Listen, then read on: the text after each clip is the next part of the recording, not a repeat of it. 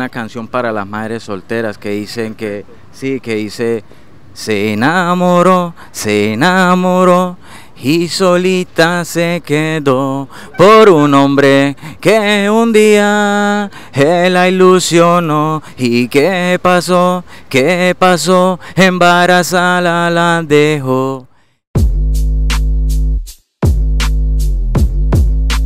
El Chicle TV.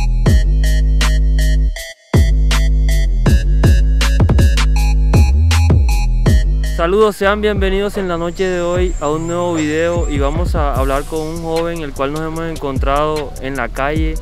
Decidimos hacerle unas preguntas detrás de cámara y él nos va a contar un poco de su historia.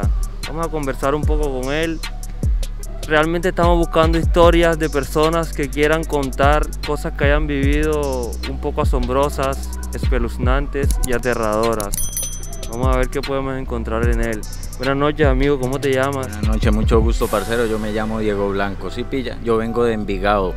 ¿Cuántos años tienes? Tengo 26, voy a cumplir 27. Escúchame, este, ¿de dónde eres exactamente? De Envigado, de cerca de Medellín, ahí por el Polideportivo Envigado.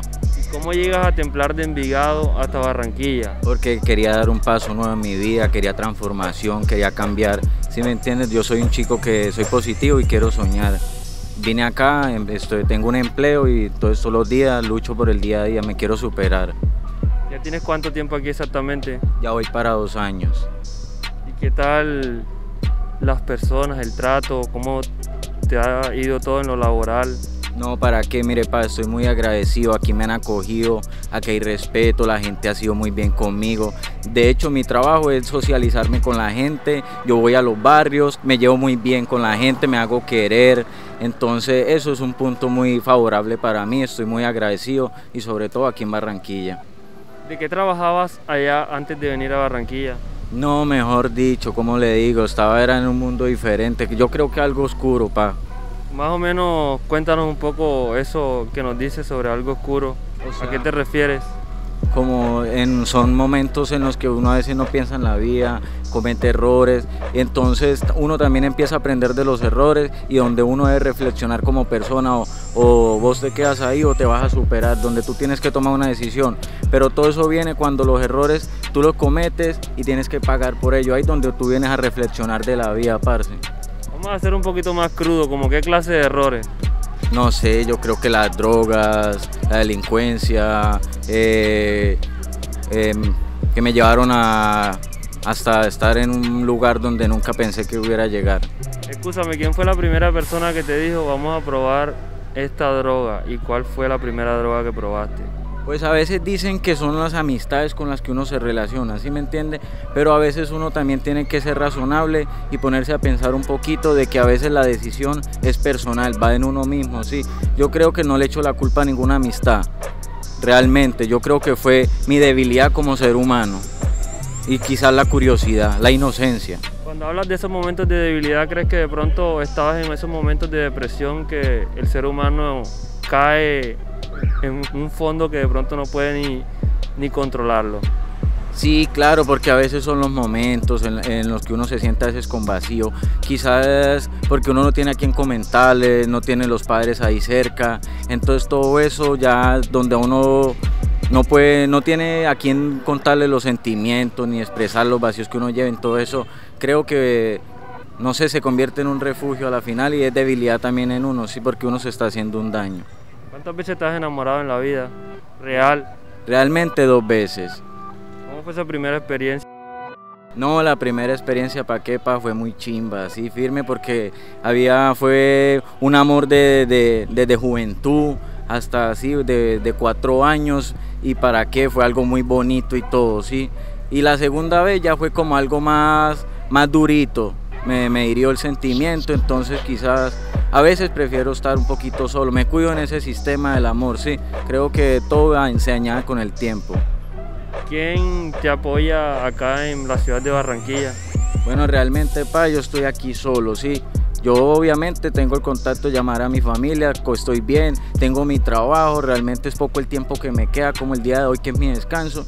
Entonces, realmente me la paso es trabajando, ese es el tiempo mío y yo solo, yo solo me, me sobrevivo Háblame de, de ese tatuaje, ¿qué, qué, qué significa? ¿Cuál? ¿Qué ¿Cuál, que de- tienes en el cuello? cuál de este o, el, o cuál? Ese, ese que está aquí. Bueno, este es un Jesucristo que, bueno, algo maluco y todo, pero se representa para mí la fe, la fe en Cristo, quien murió por nuestros pecados. Soy muy devoto a la religión, ¿sí pilla? ¿Y el otro que tienes, qué, qué El significa? significa- ¿Cuántos tienes exactamente? Realmente tengo 10.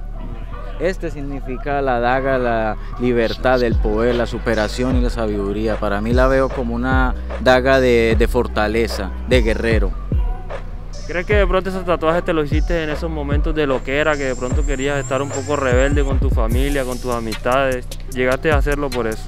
Sí, sí, sí, la, realmente sí, me empezó a gustar y realmente empecé, cuando me di cuenta ya tenía todo eso. Pero me gusta, me gustan y todo, me gustan realmente. ¿Cuál fue la experiencia más, más bonita que, que has vivido en la calle? La experiencia más bonita de la calle, mejor dicho que yo todo lo que hago lo hago con corazón, ¿sí me entiende? A veces veo otras personas y veo así las situaciones y si tengo 500 pesos, 500 pesos me nace darle, sí. Me enamora la vida porque también veo personas que se quieren superar y que a veces la vida es durita, pero no es imposible nada, sí. Entonces me da experiencia la vida de que que uno puede, uno puede aunque sea dura, porque si uno piensa en negativo, entonces realmente la vida se transforma en eso, negatividad. ¿Y qué otras cosas haces aparte ya de tu trabajo? Bueno, en sí también me gusta trotar, de vez en cuando eh, salgo a trotar, me gusta el microfútbol, me encanta el microfútbol y me gusta componer, también me gusta componer musiquita, hago música. ¿Qué, qué clase de música para que la gente que te va a ver ahí sepa?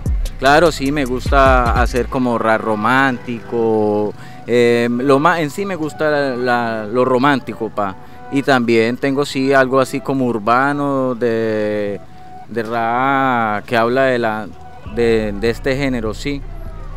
¿Qué, qué- qué te inspira a ti para crear esa música? Los sentimientos, lo que uno siente a veces. Entonces es bonito dejarlo fluir en una hojita con un lapicero y que todo eso nace. Ahora háblame un poquito sobre qué aspiras tú con la música. Sí, claro, es un proyecto que, que quiero, eh, de parte es un sueño que tengo, que, que una meta que, que mejor dicho, yo creo que me, todo lo que yo compongo, ahí hay historia, sí, hay historia, sentimientos también, porque yo soy una persona que me gusta, como le digo, compongo al amor, eh, porque realmente yo, no sé, me inspiro mucho en ese, en ese sentido y quiero enfocarme en eso, lograr lo que quiero, grabar mis temitas. De hecho, tengo unos temitas así, entonces quiero seguir, quiero seguir y Cántame un pedacito de uno de esos ahí para que la gente la escuche. bueno, sí, yo tengo una que es romántica que dice, ay me podría pasar, tú eres la culpable de todo, ay que me estoy enamorando uh, y te estás enamorando, culpable tus enojos, ay de tu boca y de tus ojos, de las flores de mi jardín, del dulce aroma del jamín, me has cambiado la vida. Recupere la alegría, pasar contigo en la calle, lo haría todos los días. Son cosas del amor que no se pueden evitar. Cuando palpita el corazón, un amor nuevo ya llegó. Son cosas del amor que no se pueden evitar. Cuando palpita el corazón, un amor nuevo ya llegó. Llegaste tú, me enamoraste. Ay, nos enamoramos con solo besos en la boca. Tantas cosas que me provocan, ay, me podría pasar. Tú eres la culpable de todo, ay, que me estoy enamorando y te estás enamorando. Me encanta, me encanta la melodía, este, interesante. ¿Cómo aparece en las redes sociales para las personas que de pronto te quieran seguir por ahí? Bueno, mi amigo, realmente yo aparezco como Rayman7t7. Eh, la cuenta está recién abierta. eh, en Facebook aparezco como Diego Alejandro Blanco, ya que estoy, gracias a Chicle TV que me invitó a esta gran entrevista. Voy a empezar a la oportunidad, ellos van a trabajar conmigo en eso y bueno, me pueden buscar como Rayman 7T7. Interesante. Este, otra preguntita, ¿has de pronto tocado ya la puerta en otros lugares como emisoras otros escenarios? No, realmente no, pero estuve en dos ocasiones con Javier Aguilar. Él es un manager de J Music. Y él me invitó, me invitó a unos eventos en San Martín y también por allá por cerca a la Sierrita. Y bueno, el muchacho me invitó dos veces, fue una, una bonita experiencia y por eso vi aquí que aquí es una tierra muy acogedora y apoya el arte. Estoy muy agradecido por eso, parce. Apoya el arte. ¿Qué artista aquí urbano de la ciudad de Barranquilla te gusta? Me gusta, yo soy parce de Magirama, es un pelado de los robles que él, le pone corazón y ha sido en esto para que él más me motiva, vamos para adelante, ¿qué tal? De hecho, yo he hecho ensayos con él y todo, sí. Como le digo, el trabajo no me ha dado tiempo, pero ahora sí quiero enfocarme más en eso. Si el día de mañana se te presentara la oportunidad de hacer una colaboración con otro artista, ¿cuál elegirías? Eh, bueno, me gustaría hacer una colaboración. Yo tengo un joven que es amigo mío, que es de un barrio Villasol, que lo conocí. ¿Cómo se llama? Él se llama Jainer y es un muchacho aquí barranquillero y tiene mucha inspiración, tiene tremendas letras. Hablamos un poquito sobre qué aspiras tú en cinco años, cómo te visionas tú en cinco años como persona en todo lo que es en lo laboral, en lo económico. ¿Qué aspiras tú con tu vida en cinco años? Bueno en lo laboral para que yo le pongo sentimiento. De hecho, me destaco por ser bueno en lo que yo hago, le pongo mucho corazón, empeño. Es un trabajo donde, si me entiende, todo es una escala donde tú mismo vas avanzando. Entonces, en lo laboral me siento bien, sí. Pero de hecho, no me también tengo mis metas, mis sueños, que no puedo quedarme ahí toda la vida. Estoy muy agradecido porque si uno no trabaja, entonces uno cómo hace para sobrevivir, sí o no. Entonces, de hecho, en cinco años me veo más superado porque soy una persona que soy, a pesar de eso, soy visionario. Soy visionario y me, tengo una mente emprendedora y todo, pero de aquí en cinco años me veo ya súper bien. Sé que ya puedo lograr mis metas en la música, ya, estaría más eh, los temitas, los videos y todo. Cuéntame una anécdota de tu vida que te haya marcado la vida. Algo como fuerte. Crudo una cárcel. ¿Cómo fue ese, episodio que viviste allá? No, huevón, eso es una experiencia fuerte, sin palabras. Sabes que eso es el infierno en vida, así pilla. ¿Duraste cuánto tiempo? Dime más o menos. No fue mucho el tiempo, como prácticamente un año, pero una experiencia que no se lo deseo a nadie. ¿Por qué delito caíste preso? No, eso fue por lesiones personales, un servidor público, sí.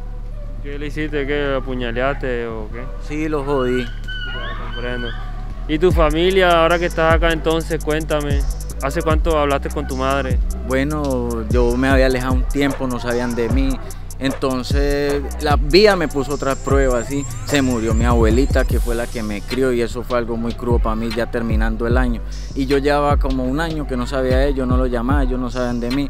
Cuando ya supe fue lo de mi abuela, volví allá y fue algo muy crudo y realmente fui en diciembre ahorita fui el 26 y me vine el 4, sí, porque ya tenía que de nuevo trabajar y volví a esa relación porque usted sabe que cometí un, delito y el cual tenía que pagar por eso. Ya uno sale, no lo miran con los mismos ojos, entonces yo decidí enfrentar eso por mí solo. Por eso le digo que quería cambiar otra vía, hacer las cosas bien, como le digo. Entonces ya otra vez volví la relación con ellos, pasé un diciembre muy chévere eh, mi mamá, mi mamá es mi motor, está ahí, hemos tenido esa, ahora sí esa conexión, me llama, cómo está, y eso me motiva, ¿sí me entiende? Que ella confía en mí, tiene la fe en mí. ¿Qué mensaje le puedes mandar a ella a tu madre cuando vea este video? No, mamá, sabe que, que madre solo es una, que en la vida, en la vida yo digo que el amor y el verdadero amor es la madre de uno, o sea que, parcero, cuiden la, la ámenla mucho porque como una mamá no va a existir ninguna mujer en la vida realmente.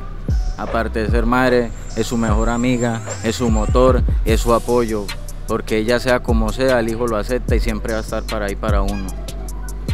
Increíble, gran mensaje. Ahora cantamos un pedacito sobre ese, ese rap que te gusta cantar. Bueno, a mí me gusta yo una canción para las madres solteras que dicen que, sí, que dice Se enamoró, se enamoró y solita se quedó por un hombre que un día la ilusionó. ¿Y qué pasó? ¿Qué pasó? Embarazada la dejó. Él no aparece y su pancita crece. Y el padre de la chica pregunta quién será el papá una madre soltera más. Ay que no vale la pena. Y si quién es el papá oye madre diles que puede ser madre si no es con él cuéntale que serás una buena mamá. Diles que puede ser madre si no es con él. Diles que puede ser madre si no es con él. Muchas gracias, parcerito. Me alegra escucharte. Mandar un mensaje a las personas que de pronto están metidas en problemas, que a veces se les hace la situación un poco difícil, pero no encuentran esa salida. ¿Qué mensaje tú le puedes mandar ahí a la juventud? Bueno, que, que realmente a veces ellos están en un mundo oscuro, a veces hay que tener fuerza de voluntad y no tener esa debilidad como ser humano. A veces todos esos momentos que puedan pasar, son momentos, situaciones, aplicarlo como una experiencia de la vida, pero también aprovecharlo, porque ella le está dando un mensaje y ese mensaje es que todavía tú puedes. Entonces tiene que tener sobre todo fe, voluntad y quererte, querer ser alguien en la vida. ¿Sí me entiende, pa? Há- Háblame un, un, un poquito de ese flow, ese flow de, de artista. ¿Te gusta de pronto vestir frecuentemente con tu sombrero, tus detalles, tus accesorios o es ocasionalmente? No, sí, me gusta, me gusta, sí, ¿para qué? Me gusta vestir así de negrito, me gusta el negro, el blanco y el rojo. Me ¿Con qué artista tú te identificas No, yo mismo, único? soy único, sí, pa. O sea, cada uno debe ser original en lo de uno y respeto a todos. A mí me, me gusta eso, respetar a todos y lo respeto. ¿Cuál es tu comida favorita? Eh, me encanta el pollo guisadito, sabroso con papitas, sí. ¿Cómo te gustan las mujeres? Delgaditas, flaquitas, bonitas así.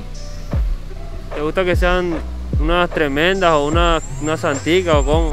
Que sea humilde de casa. No me gusta las gatas, bandidas, nada. ¿Alguna vez has practicado cosas extrañas con mujeres? No, sí, nada, todo. ¿Como cuáles? No, como le digo, me encanta meterlas en el papel de que se vuelvan sumisas y yo la amo. Cosas así, experimentar. Habla un poquito sobre las amistades que de pronto conoces por aquí en este barrio donde estábamos ahorita. Eso ya va. Bueno, mire, la verdad, ey, la verdad, la verdad, la vida, yo he conocido tantas amistades, tantos amigos, tantas cosas, tanto he estado en lugares, he conocido, mejor dicho, como dicen, parches, lugares, mi trabajo también yo conozco, pero él sabe que yo tengo a alguien original en mi vida, no sé cómo, es como un ángel, un- es- es- él es mi pulmón. Que donde yo vaya, el, el parce está, ¿sí me entiendes? Desde así. ¿sí? Lo que pasa Vamos es a que- ver dónde está, dónde está, lo vamos, es vamos a que yo conocerlo. lo que pasa es que yo quedé chiquito, sí pilla, pero el man eso, mejor dicho, hey, pa, llegate. ¿Dónde está el panita? Llega, eh. Hermanito. Bendiciones, ven acá amigo, ¿cómo te llamas? Sebastián, ¿Cu- ¿Hace cuánto tiempo ya llevas de amistad con él? no, Diego, la, la buena para Diego y un visaje firme, está acá con toda la gente de Chile TV y todo, apoyando acá a Diego en el sueño de 15 Diego y vale. Diego en un camino duro, todo para poder estar acá y pues ahí dándole y tan. ¿Ustedes de pronto han sufrido cosas juntos, obstáculos en la vida que hayan superado también juntos? Sí. Obvio, claro, sí, claro, nos ha tocado guerrear ahí y tan. ¿Como cuál, más o menos, cuál fue ese obstáculo más duro que ustedes superaron con ese apoyo? A veces, a veces, pues, si el uno no tenía un techo, el otro te lo brindaba. Si el uno no tenía comida, el otro te la brindaba. Y entonces ha sido mutuo la amistad, o sea, original, donde nunca había un discuto, nunca había habido- ahí siempre el respeto. O sea, él es el, el pulmón, como le digo. ¿Qué mensaje le pueden mandar ahí a la gente que nos va a ver? No, no, que apoyan al parcero, está pegado, ¿para qué? Bastante y acá no, disfrutando acá, acompañar al parcero, eh, acá con los trines, en la página y todo, mira el Diego. Bendiciones, sigan la página, suscríbanse y denle like.